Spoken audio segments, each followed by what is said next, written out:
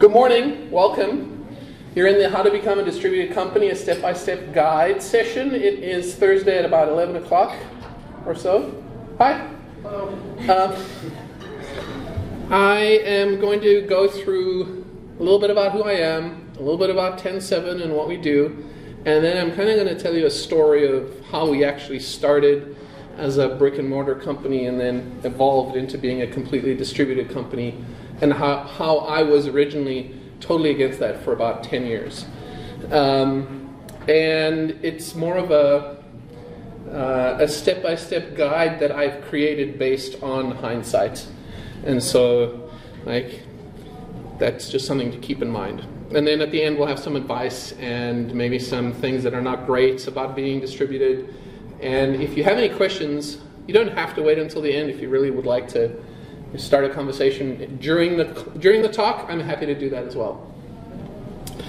Okay, I am Ivan Stegic. Um, I am an immigrant from South Africa. I, my parents are from Croatia, so I have Eastern European ancestry. I started TEN7 in 2007, and I immigrated to the United States in 1999. I'm a trained research physicist. I was at Honeywell before I started uh, TEN7, and I was also at Imation, and I was part of an amazing team that made the first US manufactured optical media. We made CDRW, DVD, HD DVD, Blu-ray, uh, Blu-ray, and it was all done in Oakdale, Minnesota, and in Wahpeton, North Dakota. Um, so I was very happy to be part of that team. I also have a degree in psychology, so um, my current role of being responsible for the well-being of the humans in my company and also the kind of the general happiness of clients, it's kind of awesome. It brings me real joy because I get to spend time doing left brain and right brain stuff. Um, TEN7, we create and care for Drupal-powered websites. We've been around since 2007. As I mentioned earlier, I started the company in my basement.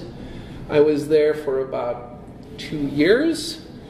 Um, I was at a startup before I started TEN7, directly before, and I had worked about 60 hours a week and had a one year old and a two year old, and that was not sustainable at all. And so, kind of started TEN7 by mistake.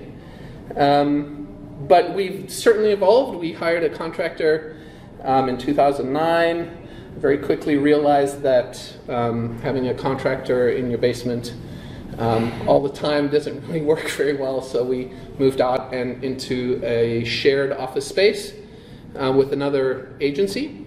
Uh, there are eight full-time employees now at TEN7. Um, we offer full health, dental, vision insurance. We offer 401k. We have a tech stipend now that we've had since the beginning of becoming distributed. So every full-time employee gets $1,500 a year to spend on their technology or their home office, honestly.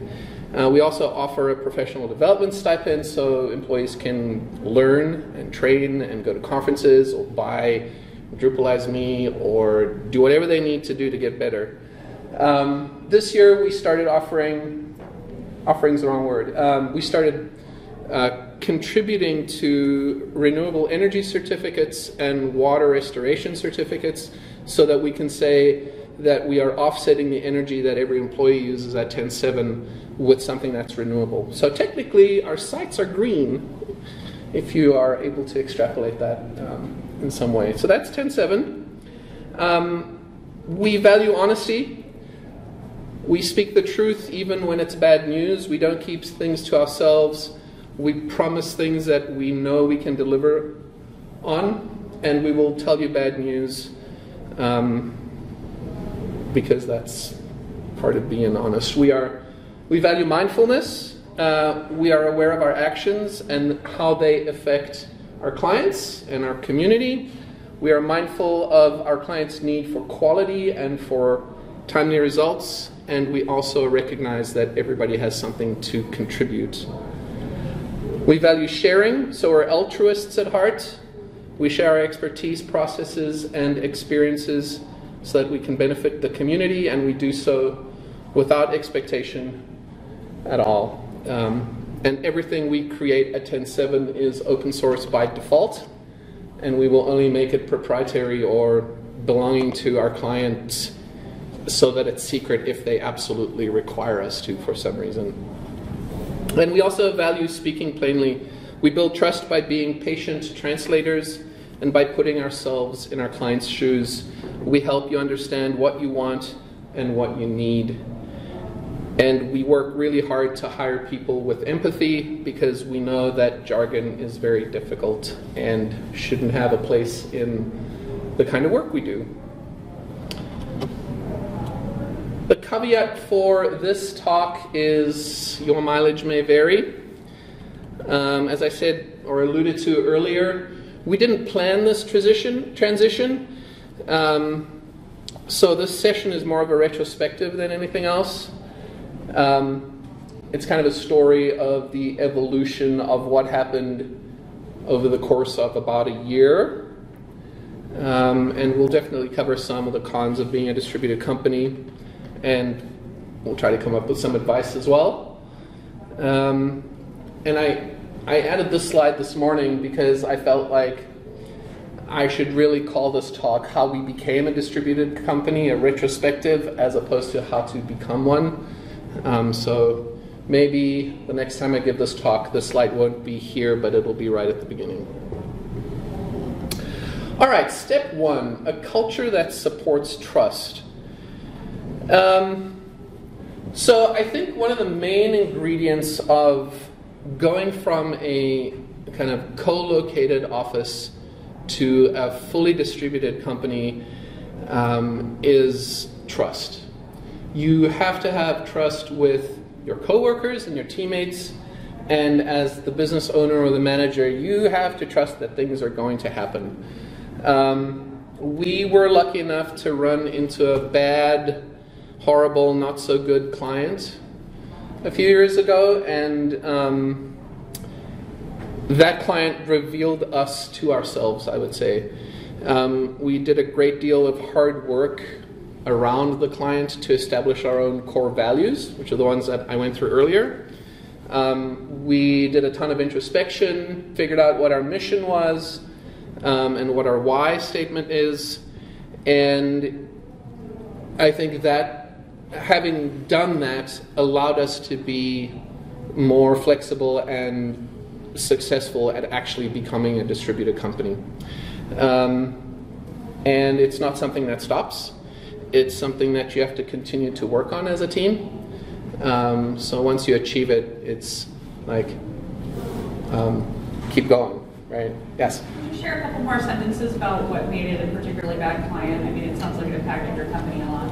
It. I will. I, I have some slides. So yes, I will. I will absolutely get to that. Can you give us names? I cannot give you names. I cannot give you names. You don't know them though. Okay. So don't worry. um, so, what do I mean by a culture that supports trust, and how do you know if you have one? Um, so, I want to spend a little bit of time and tell you where we were, and then go through like what happened and how how we started this journey to become distributed. So, in 2011, um, we bought some property in downtown Minneapolis and it was um, it was the next step in the evolution of the company. We had shared an office space with an agency that was going out of business, and we were like, okay, we need to find a lease because you guys are going to break yours, and we can't afford to have this whole thing. Um, so we started looking, and there just so happened to be a building in the north loop of downtown that was a, uh, an association, a commercial and a residential association building. So it was a condo. So we bought it, and we thought, and by we I mean my wife and I bought the condo, and our accountant and our attorney said you should own that separate than the business, because um, that's just smart to do. And we said, okay. So we bought that, and TEN7 occupied it, and always occupied it, and it was purpose built for um, the work that we did. And the idea was have a single room, have a giant table, um, 12 desks, all of us working at the same table. We're all connected to each other physically as well as by the work that we're doing. We're all learning and building something together. And in 2011, our developers were mostly junior. And so what you heard from the keynote was invest in those junior developers, like bring those people on. We very much did that um, very early on. And so being together really, I thought, helped us learn from each other.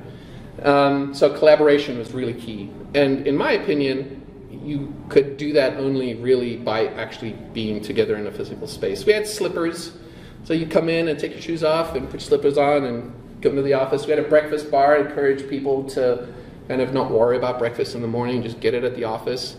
Um, we tried to make it as fun as possible to be there. Um, like eight years ago, that seemed like a good thing to do. I don't know if I'd approach it the same way um, now. But the biggest issue we had was fighting distraction and being able to focus. So it is an open plan office, it was an open plan office. Um, eventually, that became something that we just couldn't really deal with um, very well. So collaboration kind of went away um, as we get as we got older. Um, so I kind of hoped that the office would be a constant point of reference, something that we could rally around. But the honest truth is that things change. People change in the team. Um, work gets more complex. Uh, when you have more complex work, you end up spending more time on it. Budgets get larger. Um, the tools you use start evolving. Uh, they generally get better. Sometimes you outgrow the tools that you've used, so we stopped using Basecamp and started using Jira. Some tools stick around. The general rule is things changed over five years. And if we fast forward to 2016, we had this one bad client um, that we had an awful experience with, um, and um, I gave a talk about this at TC Drupal in 2016, and there's a link there that you can follow and you can look through that um, that talk if you're interested in.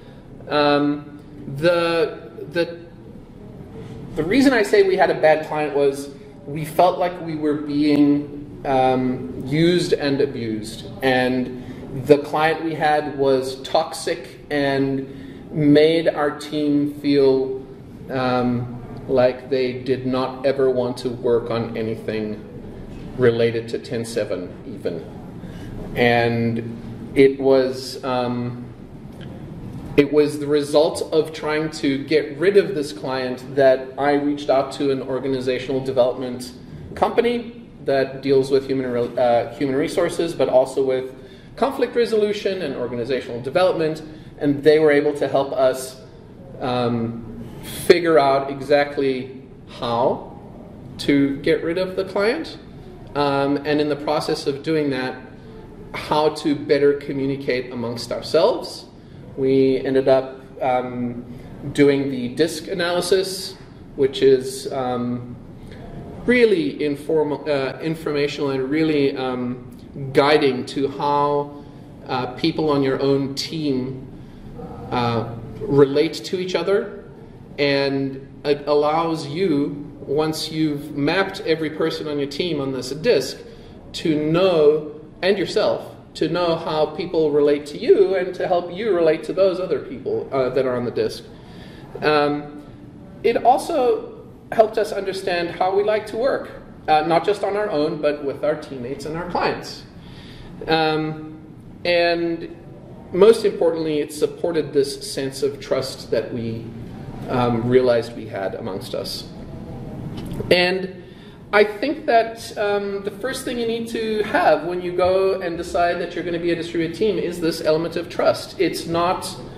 Um, it's not like this. It's um, I think if you have a culture of distrust and micromanagement, a culture of butts in seats, um, where managers and leaders are freaking out if people aren't in the office, um, I think that's counterproductive. I think that the people that you work with on a daily basis are adults, and you should be able to uh, trust them that they're going to do their work. And Bland, for the sake of Bland, is just that. It's for managers and owners to feel like there's productivity and being able to look out and see, oh, the people are here. That means that stuff's getting done.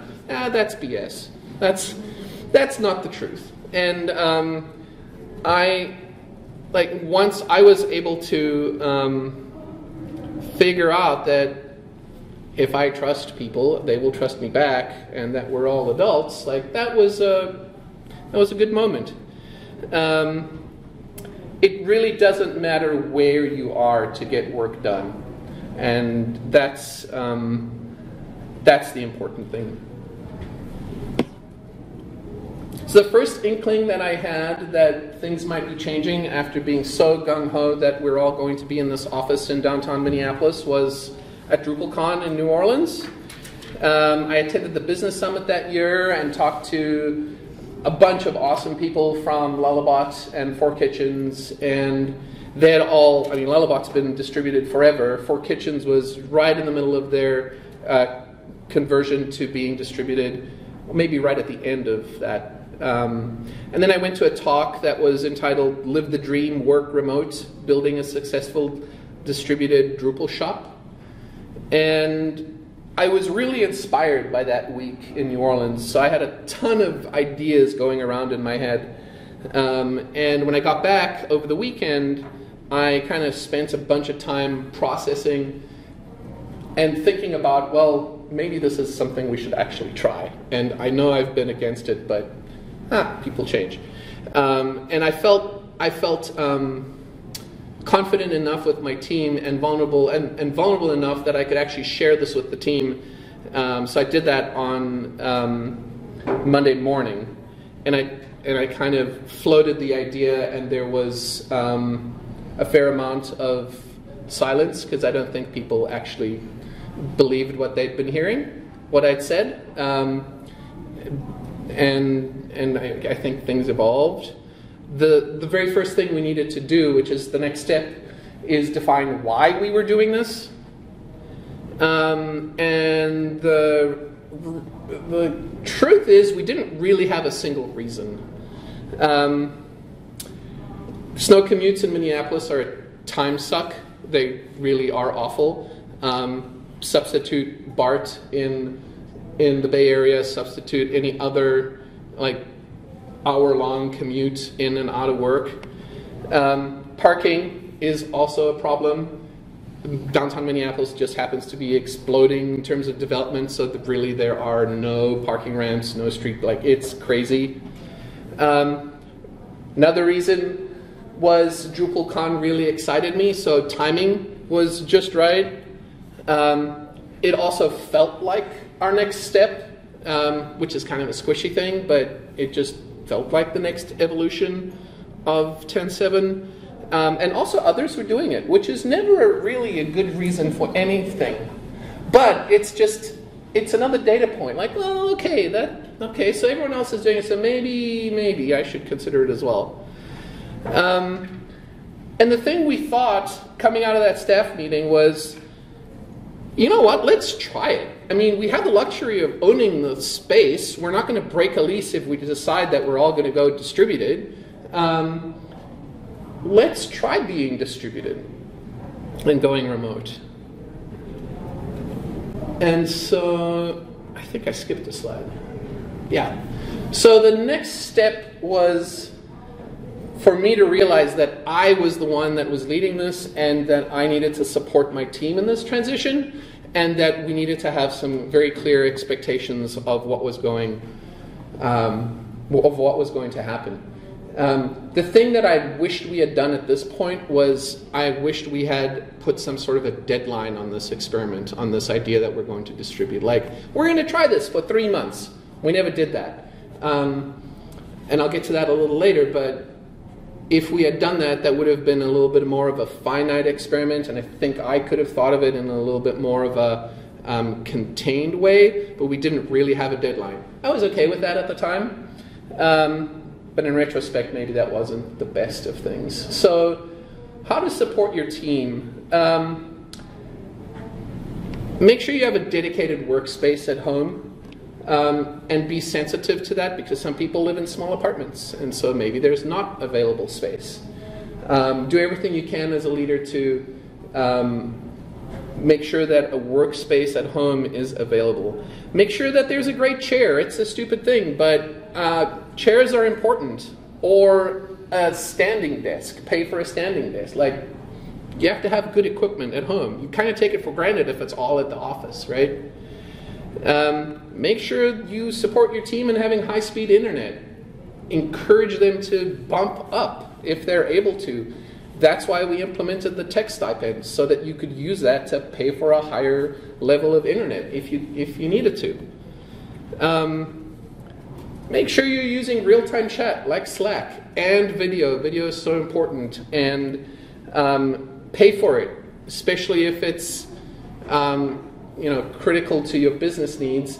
You want to be able to see people, um, and crappy video and low bandwidth is like we don't live in the early 2000s. Like we have high speed now and great software. Pay for it. It's important to reduce that friction. And then um, have clear expectations of the team. Um, keep each other informed. Like, what are you doing today? What do you have a stand up? If you don't have a stand up, you should have a stand up. Um, make sure you use that group chat and use video.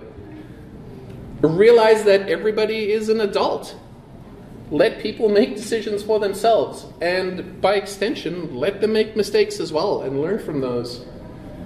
And live your values, make decisions based on the values that you have as a company. And the next step is to iterate. So, the way we started was we experimented with everybody working from home on Friday. And we decided Friday because um, not really terribly productive at the end of a Friday at the office anyway. And so we felt like we wouldn't lose anything by doing the whole of Friday. Um, and so we didn't, like, wasn't a hard decision to stay at home on Fridays and do that. Um, and once we had done that for a few weeks, we decided, oh, this is working pretty well let's add another day. So we added Wednesdays. And so we were in the office Monday, Tuesday, then we were at home on Wednesdays, back in the office on Thursdays, and then um, remote again on Fridays. Um, that just felt wrong. It just kind of didn't work. Um, and so we switched the two days to Tuesdays and Thursdays. We still kept it at two days. We didn't want to go back to one day. Um, and we thought that it would be bad if we went linearly. So instead of going from Wednesdays and Fridays to like Mondays and Tuesdays or Tuesdays and Wednesdays, we felt like for us as a team, it would be better to go one day on, one day off. And so Monday, Wednesday, Friday, we're in the office. Tuesday, Thursday, uh, we're at home. Um, and this went on for months. Literally happened just, we just kept doing this for four months. And I thought, oh yeah, victory, right? This is awesome. Um, because I'm in a groove, this is working out for me. Um, did I skip a slide? I think I did. I was comfortable. I didn't have a deadline. It was working out for me. Um, Yeah. But things change. Um, so we were coasting hybrid for months. Um, someone on the, th- on the team thought that maybe it wasn't working out as well as he would hope. In fact, he thought it might work even better. Um, so he requested, I would like to be full time remote. Um, and I'm like, what? But this is working out so well. Um, and he came up with some good reasons. Um, he was like, well, it's been working great so far. Uh, we have Slack down, we have video down, our offices at home are all working well, we have great chairs. Like, there's really, um, Like, I actually have improved productivity. I'm not spending time an hour and a half to two hours coming into the office, setting up, finding parking. Like, I um, am not distracted anymore. I can mute Slack. I couldn't mute people in the office. Um, and again, commutes in the snow suck. So basically, I couldn't say no. I mean, he was right. Like everything that we were doing was conducive to being fully remote um, all of the time. Um, so eventually, you have to make a decision. Um, and it's okay to experiment. Have a time frame on that though. Take your time, but at some point, someone has to make that decision. And so we realized a few things. Um, there was no reason to be bound to the office physically, and I think the fact that we were at home on and off, you know, made us realize that. We hadn't had a client in the office for two years. We literally went through the calendar and looked for meeting invites and couldn't find one. There was one in 2014 that we had that we. So we're like, okay, clients are not really coming to us. So we can always go to the client if we need to. Like, that's not a reason to stay we own the office. Like that's like there are no lease considerations. We turned around and became remote, and I started looking for a tenant. Like that's we didn't have to break a three-year lease or a five-year lease and be on the hook for you know forty thousand dollars. And so once we decided we were going to be totally remote, we had to kind of decide what kind of remote, what kind of distributed company. And there are basically three categories. So there's co-located. That's everybody in the same place all the time. Um, you're physically present. You have a lease. There's co-located but remote first. So you're basically a hybrid company. So you have offices, but you um, are flexible on being remote. And a great example of this is GitHub.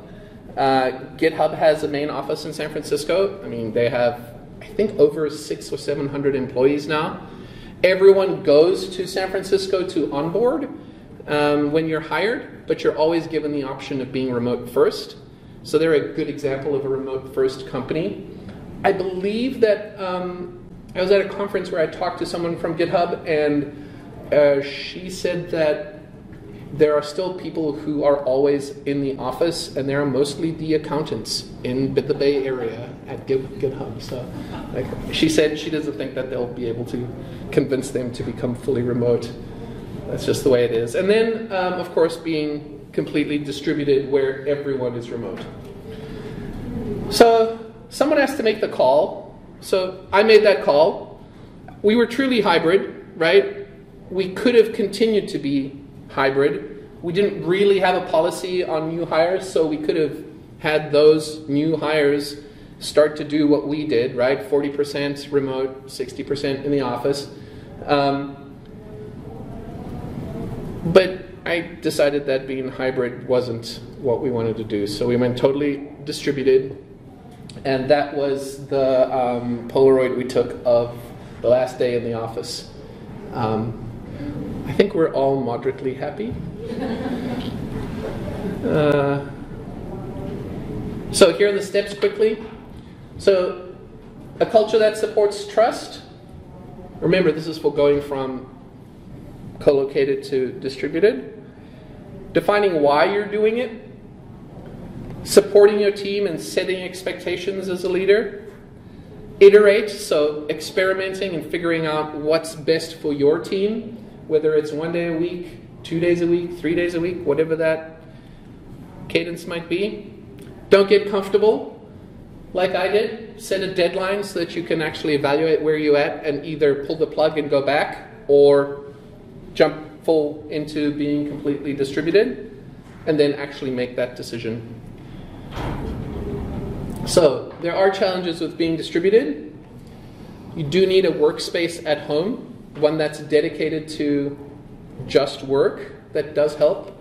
We all struggle with isolation. Mental health is a very important thing, so being able to see your colleagues on video chat is important, but being able to go out to a coffee shop or a um, library or to go out somewhere where you're around other people, that's an important thing.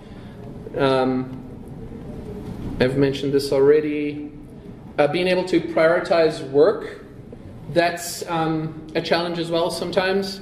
So you have to have good uh, systems in place to be able to know what things are important um, and how to prioritize them. And we have, I mean, systems like Jira that help us do that, and stand-ups that we have on a daily basis.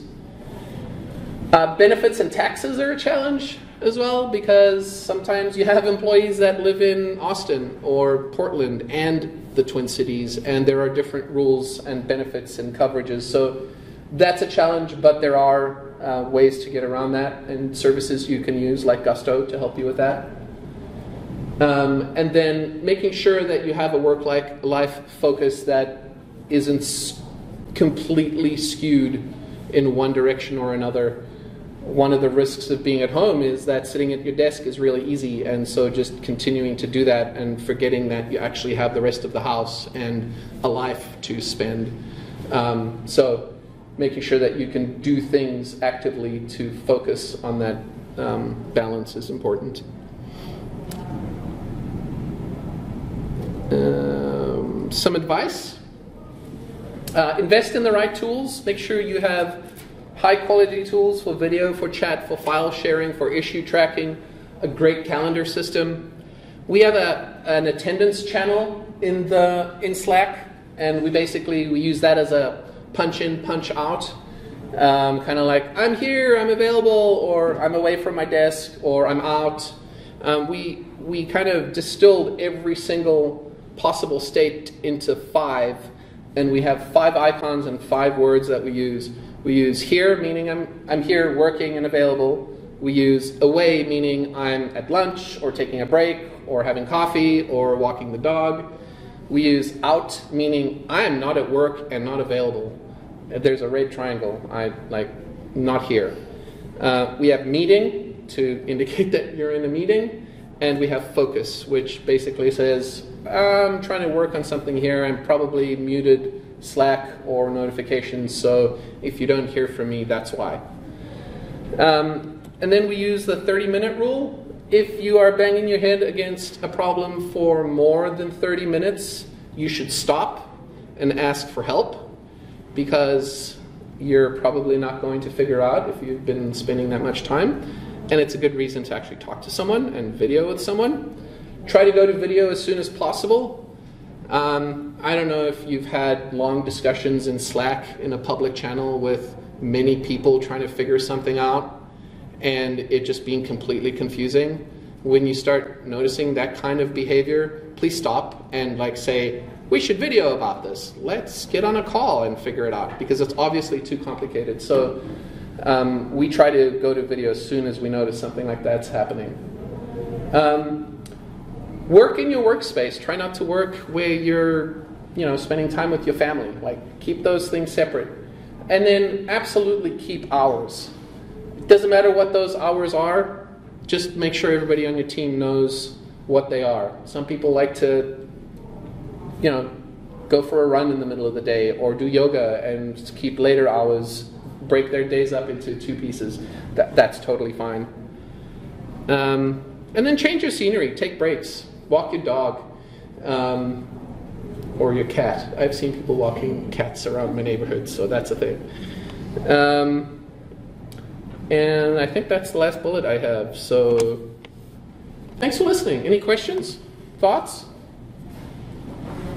I'm just wondering if you've done like any retreat, like get everyone together, sort of retreat based since you've made the change, or plan to. So um, all of our employees are still in the Minneapolis uh, St. Paul and Hastings, and um, so we haven't done an official company retreat, but we do something called an in-person.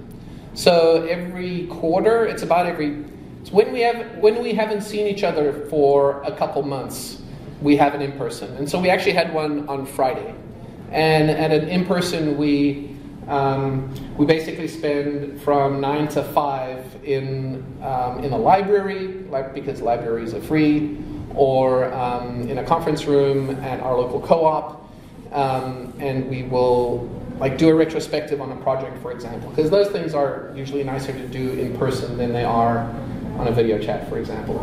Um, so we haven't had retreats yet because we haven't got employees that are, we have contractors out of town but not employees yet. Um, but we'll have to do those at some point next year, I would guess, or the year after. Did you have anybody that was resistant to going fully remote? Besides me? um, yes, we had one person who had the longest commute of everyone who, who was um, not very keen on the idea. Uh, but then when she, uh, when we started, she, she very much um, started to realize that, you know, she actually gained almost two hours of her life by not having to commute. So she changed her mind very quickly, which was great. Dan? Oh, uh, so given that you've been set up this way for the past two years now? Yeah, two and a half years. I'm surprised that, that you you haven't hired someone from out of the region, and why do you, do you think that's just just the way it worked out, or I mean, when you put out a job, you know, you probably get people from all over the country, right? So we so we do have uh, three contractors, one in Portland, one in um, Austin, and up until recently, uh, one in Michigan. I um, they're technically team members. We technically did hire them after we went distributed. They're just not full time employees, so like they spent they're technically 1099s. Um, we did publish a post or a job post a year and a half ago looking for a full-time employee and i was amazed at how much of a response we had compared to what we used to have back when we would just you know be in the minneapolis Right. st paul region um, but we decided not to hire because um, we've discovered that when we when we had an in-person after we posted that job post, uh, we looked at the table and at all of the people that were around the table and discovered that every single one of us, except for me, was originally a part-time contractor, then a full-time contractor, then an employee, and we decided that it just wasn't the way we hired people. Like we don't, we haven't hired anyone just as a full-time employee. So the people that are contractors are we're kind of grooming them. I guess is Is that your that's kind of. official policy now, or is I don't know if it's an official policy. Like if we got a project now and had to scale up very quickly, I would consider hiring a full-time employee. But I mean, I think we'd be. We've had more success going through the phases of dating and getting engaged and getting married, so to speak. Right. Right. So when to like some of those contractors who are new, um, started working with after kind of going to this fully remote thing, how did you work on that step of building trust with them? It's a great question. Um, one of the things we did was we created an employee handbook, and that's online and open source, so anyone can actually use it. Um, so we have to ha- we had to come up with some sort of an onboarding process. Um, and one of the things that are part of the onboarding process is buddying up the person who's new with someone else in the team so that they have a significant person that they can talk to about any issues or problems that they might have. Um, I still do one-on-ones with all of the team members, whether they're contractors or employees, on a monthly basis. And so that kind of factors into new people as well, because I get, I get an opportunity to do um, kind of a check-in on a monthly basis. And then we also use knowyourteam.com, which is um, a really wonderful tool that um, sends out questions on a bi-weekly, no, every, it's two or three times a week. And there's a social question, and then there's a company question, and people respond to it. And um, it also has this icebreaker functionality, so when someone new starts, uh, they get asked a couple of questions, and they answer those questions. And then once they've answered them, those answers go to the whole team, and she receives, she or he receives um, an email with everybody else's original icebreaker questions. So that's another way that we try to onboard people. Anybody else? No? Awesome. Thanks for coming. We're I think we're right on time. Thanks a lot.